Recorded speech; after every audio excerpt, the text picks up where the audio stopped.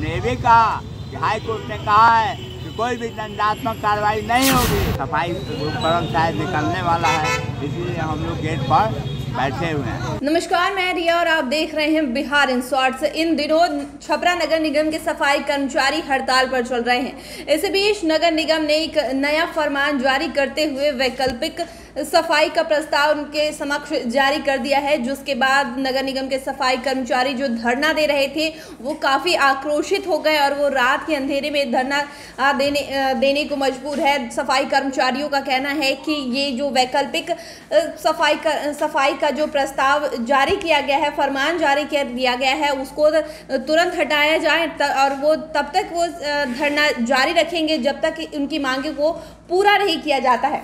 आपको बता दें कि नगर निगम के सफ़ाई कर्मियों ने देर रात नगर निगम के मुख्य द्वार पर धरना देकर नगर के सफ़ाई के वैकल्पिक व्यवस्था को रोक दिया है और अपने हड़ताल के दौरान सफ़ाई कर्मियों की आशंका है कि रात में वो वाहनों के तहत नगर के उपायुक्त द्वारा सफ़ाई कराई जाएगी। सूचना मिलते ही दर्जनों सफ़ाई कर्मी नगर निगम के मुख्य द्वार पर इकट्ठे होकर अपनी एकजुटता का परिचय देते हुए नगर निगम के वाहनों को रोक दिया जिससे नगर की सफ़ाई व्यवस्था को ठप कर दिया गया।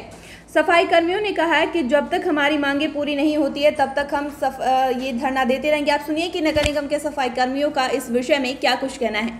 हम लोग आठवां दिन है हड़ताल का और आज एक बैग आए हैं डिप्टी नगर आयोग सिटी मैनेजर और उनके कुछ नगर निगम के साहिबों का दलाल लोग आए हैं और बोले हैं कि हम लोग कल से काम कराएँगे।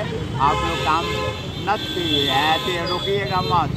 हमने कहा कि हाई कोर्ट ने कहा है कि हमारी मांग कुछ जायज़ है, कुछ मांग जायज़ है हमारी और कर्मचारी नेताओं से बात कर समाधान करें और ग्यारह तारीख की सुनवाई की तारीख हाई कोर्ट ने दिया था।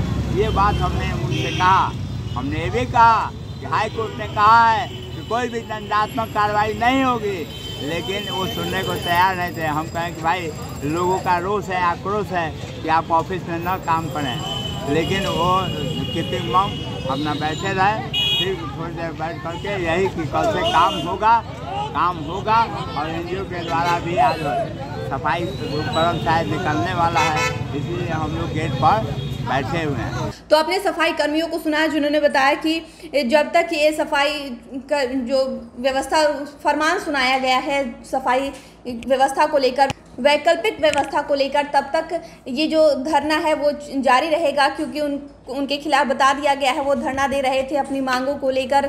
पिछले कई दिनों से ये धरना प्रदर्शन जारी है, वो रात के अंधेरे में भी।